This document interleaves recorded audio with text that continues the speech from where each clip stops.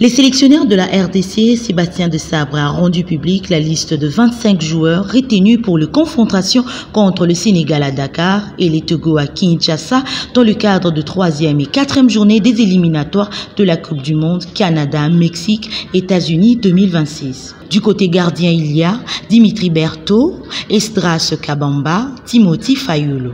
Du côté défenseur, il y a Axel Touanzebe, Gédéon Kaloulou, Arthur Maswaku, Joris Kayembe, Enoch Inonga, Chancel Mbemba, Dylan Batumbisika et Rocky Bouchiri.